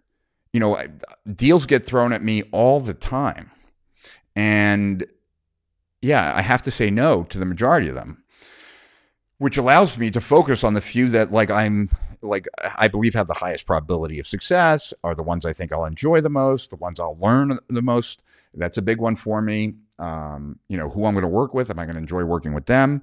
Are they going to put me just being around them? Do, do I feel excited? Those kinds of things. Um, so I hope that helps. Um, I did want to share another one though, another kind of mental model or distinction. And I was reminded of this um, last week or the week before because I was going through the transcripts of this course that I went through a while back, and now I'm going through the transcripts of it uh, by Tiago Forte called Build a Second Brain. And it's about using Evernote as a place to park really all your research, where you do all your creative thinking, um, where you write, like those kinds of things. Tiago's on another level, and I really appreciate everything that he does. And so uh, he was, you know, he asked people at the beginning of the course to create an outcome. What is the outcome that you want from this course? And uh, so someone asked the question about like, what's the best way to go through the course? And Tiago was picking the person who asked the question. I think his outcome was that he wanted to go through all the material, do all the exercises, get his second brain uh, fully built up. And Tiago, without like, you know, attacking the guy, said that's a really bad outcome because, you know, you're turning learning into a fetish. You know, would it be horrible if you only did half the stuff in this course, did only half the homework, but you were writing all the articles that you wanted to write and you ended your days at 3 p.m. instead of 9 p.m.? If you only went through a quarter of the course, but you got that outcome, would that be a bigger failure or a bigger success? And it reminded me of what I have taught for since the beginning of time, like, you know, not since I've been teaching and coaching, that being strategic is about using the least amount of input and the least amount of resources to get the maximum payoff, right? Recognizing that there's trade offs in everything. And so when an entrepreneur asks the question, like, what else can I do? That is the least strategic question that you could ever ask because there's always something else you can do. There's always more. But what you're doing then is consuming more resources. And that's not the best way to get to the best answer. You know, the question is, what's the least amount necessary to get that outcome? And that requires a certain amount of clarity about what the outcome is. And then that opens up another can of worms that maybe we'll no we're not going to get to tonight because um, i'm going to be done in 15 minutes. But we can certainly get into that next tuesday because i really do want to talk about uh, my i have a unique perspective about goals that i think most people don't. And it came from my midlife crisis that i had in my early 40s that was caused because by the time i was in my mid to the late 30s i had already achieved everything that i wanted to achieve and i wasn't very happy and then I was like, well, shit, now what? Um, so, but I'll go into the rest of that story in the next live stream. And if I forget, someone can remind me about it. Uh, we will make it happen. The post pandemic day in Delray. Sounds like a plan, Chris. Uh, that was great. Thank you. I'm glad you appreciated that, Bailey. And I look forward to hearing about your scaling success. Uh, so, Bernard is, what do you want to accomplish with these lives? uh, what do you want to accomplish with these with these live achieve for yourself? Right now, it's just more about um, getting comfortable. It's about building an audience. It's about seeing how far I can take it. It's also a way of generating content, although we haven't really started to work on that. Um, so it is a hundred times easier for me to sit here and talk to you and answer questions than it is to sit down and write. And I believe that with the right processes in place, this can be a major source of content. I also want to use these uh, to start posting to uh, um, to YouTube. I really want to start. Lever- I want to create a YouTube channel. Um, but you know, it's like I. But I also see that I am not like I don't have the same level of this is what I believe about myself, and I think it's true. I think I'm not being like I'm not looking for someone to tell me otherwise. Um, I don't have the same charisma that a Gary Vaynerchuk has or Grant Cardone, and I'm wondering how much of that is just time invested versus just genetic who you are. And uh, but I know that I enjoy doing live stuff so much that if I was really good at it and I could turn it into a bigger pillar of my business, I would do it and I would really enjoy it. I don't believe right now I am good enough to transcend the people that are interested in the information that I provide. I get that like I know a lot and I've helped a lot of people and I know the information I provide is valuable. But I think that that's where I'm at at this point. That I'm not where I am entertaining to listen to and enjoyable if you're not interested in those things. And I'm not saying maybe that it, it, I see there being different levels to this. I know some of that is just about practice, but it might not be all of it. And so this is a way that started because of the quarantine and so many people were stuck at home to kind of leverage, right? Then to um, boost these posts because we can boost them for like one tenth of a cent or three tenths of a cent to different audiences, and uh, and so it's you know it's something that's easy for me to do. I enjoy it. I'd love to be able to be great at it, and if I could get great at it, um, you know, then I might figure out a way to turn it into something more that's like very integral to the business. Um, and I do want to do a lot more video podcasting, um, more long form you know, uh, not like like think Joe Rogan, but related to marketers and to the things that I enjoy, biohacking and all the different areas, philosophy, um, theory of constraints, all the things that I'm into. And uh, I'd like to do that. So I see all this as kind of practice for that, seeing what I like, getting used to these kinds of tools, uh, seeing what's really necessary. Uh, so things like that. So I hope that answers your question, Bernard. As I learn more, I will share more uh, what but that's right now. Like it's just to be out there um, and share some of my ideas and get more practice. Uh, to create a name for my Facebook group for realtors, the Closing Machine Group or NLP Realtor, what was the best process to come up with that name? Uh, well, I would use the Closing Machine Group because I don't believe that NLP Realtor is one. Who knows if you ever have a problem with Richard Bandler if he's still alive? Uh, two, NLP is somewhat generic at this point, and and also anybody could teach NLP for real estate. You know, not that the closing machine is that unique either, but I would stick with the closing machine. I, I wouldn't tie yourself to just NLP. That's my advice, Richard. Uh, BB, hi Rich. Want to clarify on what you just said. I haven't started my business yet. Shall I first start it and get first results and then build the system. My understanding was from the blueprint that I had, I first must design my business in the right way. Well, you want to design your business from, I think you're talking about the business building blueprint. Um, what you want to do is you want to design your business so that it gives you what it is that you're trying to get out of the business while at the same time giving your customers what they want out of their business. So that's the first thing, right? And that that doesn't have to be done through systems. It could be done just by service and hard at work in the beginning. So I don't see them in conflict. Um, and look, there might be people out there that could advise people on how to design a business without ever getting their hands dirty. I've never done that.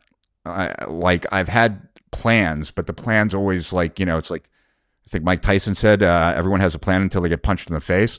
I've, there's a lot of value in planning, but the plan itself is not where the value is. The plan is useful, but is often going to change. And so, I every business I've ever had, I've had to get my hands dirty and build it. And uh, and what I thought it was going to be versus what it was, are were often far apart. Oh, I got to change cameras. Well, I'm going to change to this one.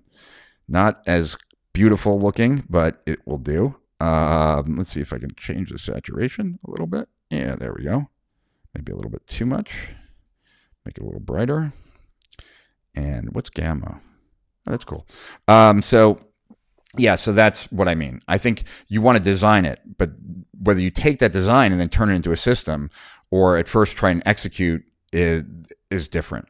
A really great book. So I was very into the lean methodology, and it was kind of a shame that Eric Ries's book became the most popular book because I, of all the books on lean methodology, I felt like his was probably not the best.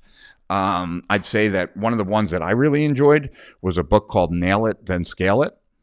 And uh, that's all about, you know, building a minimum viable product and and a business model. You know, the startup of a business is really an experiment. And you're testing the this you're validating or invalidating the assumptions that you have about the business. The highest leverage point in a business is the business model, more so than the products, more so than anything else. And so you have a bunch of assumptions about how the business is going to operate, where the customers are going to come from, what they're going to spend money on, how much they're going to like the product, all these kinds of things. And the purpose of the startup stage is not to make money per se, it's to validate or invalidate those assumptions. Because the reason why a lot of businesses fail is because there are false assumptions, but also the reason why entrepreneurs get stuck in a business, unable to grow it to the point where they really hit the level of success that they were hoping for, is also because of some invalid assumptions that were made at the beginning. So you don't want to be stuck in a business. You don't want to have a business that fails, but you also don't want to be stuck in a business like working hard but never really, but plateauing and never really breaking through.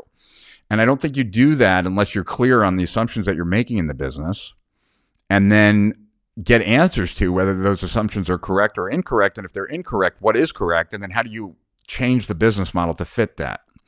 That opens up a can of worms. So I don't know that I'm going to, well, I'm certainly not going to have time to do that in the next five minutes. But uh, BB, I'd love to talk more about that with you at some point. So show up on the next live stream and, and we could talk more about it. Just, you know, throw a question my way.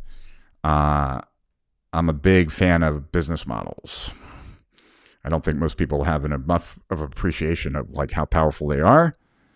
Uh, Adam said, "Thank you for saying this, Rich." Okay, my pleasure. I don't know what I said. Um, oh boy, you just hit the nail right on the head. Okay, I'm not sure.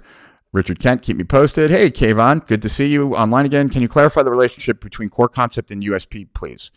Sure, I can do that. Let me just look at what else is here.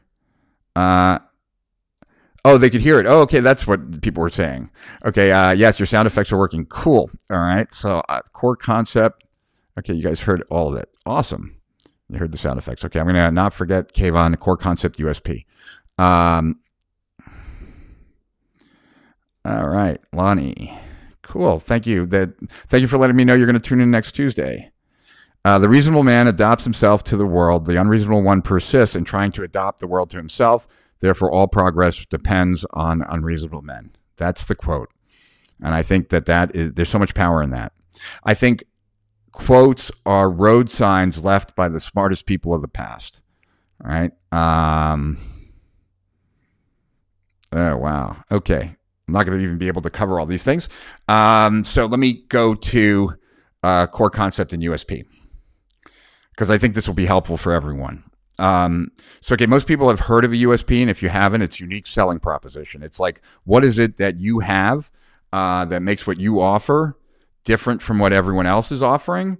In that difference being a positive difference to the buyer, right? So it's not only a question of being different, but different in a way that means something to the person who's your customer or client.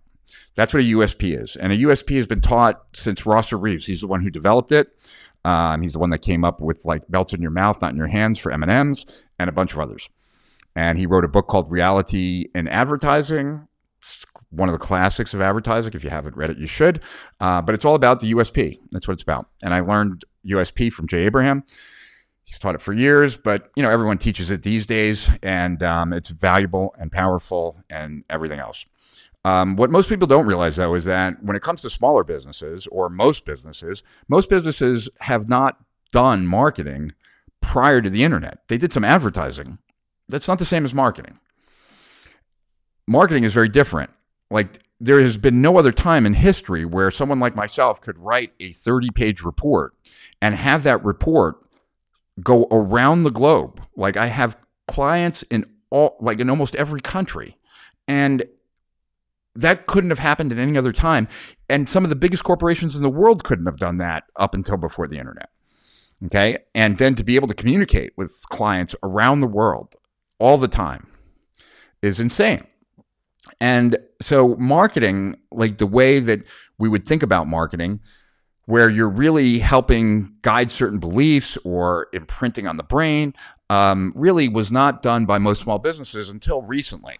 And when you think about marketing, um, what the way I like to think about it is that marketing like if you if someone asked me to define marketing and there's a gazillion definitions for marketing so it's really about coming up with one that you buy into that really guides your thinking um, marketing for me is helping prospects value what you offer that's all it is um, there's you know i went to one blog page that had like 180 different definitions of marketing. I mean literally there is no one definition of marketing. So for me that's what it is. Helping prospects value what it is you offer.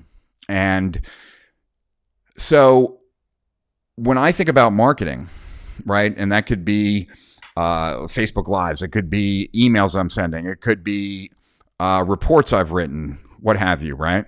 Um, these are all things that I'm doing to help people value what it is I offer, and that could be valuing what I offer because of like part of like a coaching program is the coach, so that's me, and then also the ideas behind the coaching program.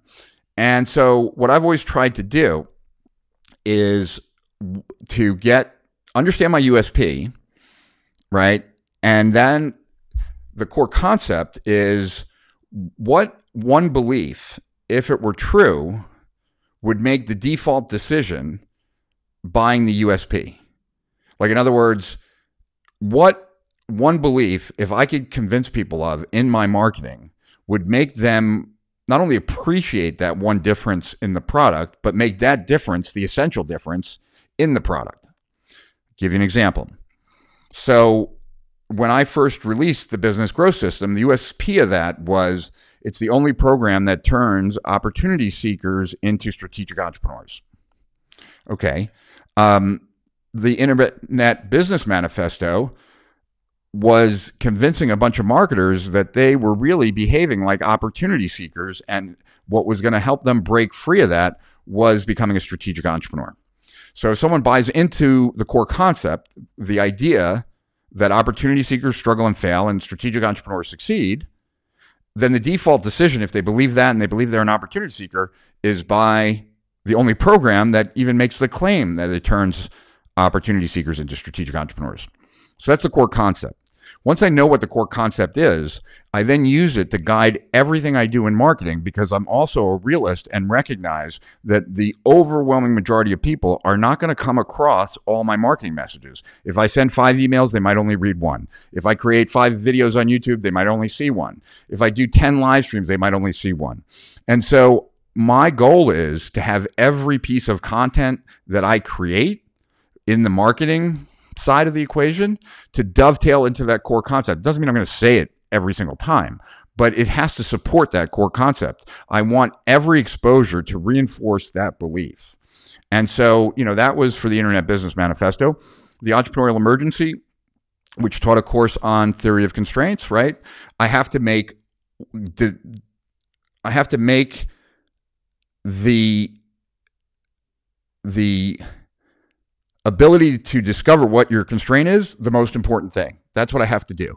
So the core concept there is that potential, your level of success does not equal your potential. Your level of success is your potential minus your constraint. Most of the things you currently are doing are adding more potential. They're not adding more success. Why? Because it doesn't change the current constraint. And if I can convince people of that, then they need a course to figure out what their constraint is. And so, therefore, everything I did during that campaign was about that. So, I hope that helps. So, the core concept really is the one idea that you need to get your prospects to believe so that when you are trying to make the sale and pushing them out of their status quo, they already believe that the difference that they need is the difference you provide.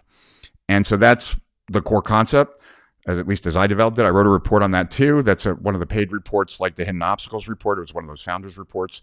Uh, and uh, Kayvon, you should have access to that. And if you don't, let me know, and I'll send it off to you. Or when we talk, I'll send it off to you. Um, no, I agree, Tom, that I want to be me. I just want to be a better version of me. Uh, that's true. I don't want to be either of those guys. Um, but I do want to be better and you know, um, and what I mean by that is that, like, well, I've known Gary forever, right? Gary used to speak at my events back in 2008. And I know you know that, Tom. But like, I I went into so Grant is in the same division of Agora that I'm in, and we had a division kind of like event where all the financial gurus spoke, and I went in there not wanting to like Grant, like I just didn't want to like him. I don't know why. I heard things about him maybe I was jealous or envious. I don't know. But I went in there not wanting to like the guy. And he's so he was so charismatic on stage and it felt like so good that I like he won me over during that presentation. So I went in not liking him and I went out liking him. And uh, yeah, I want to have that ability. I want to have that ability. Not the way he does it, not the way Gary does it, but the way I'll do it. And I don't know how that is. So, guys, I'm late for my next call. I want to thank everyone for being here. I want to thank you for the likes. I want to thank you for the shares. I want to thank you for the questions and the feedback. Um, it really makes it so much easier to talk to you guys when you're throwing questions my way and letting me know uh, how these different ideas have impacted you or thoughts you've had. I just want to really say from the bottom of my heart that uh, I appreciate that there's a lot of things you could be doing during the two hours. There's so many things that you could be watching, reading, doing.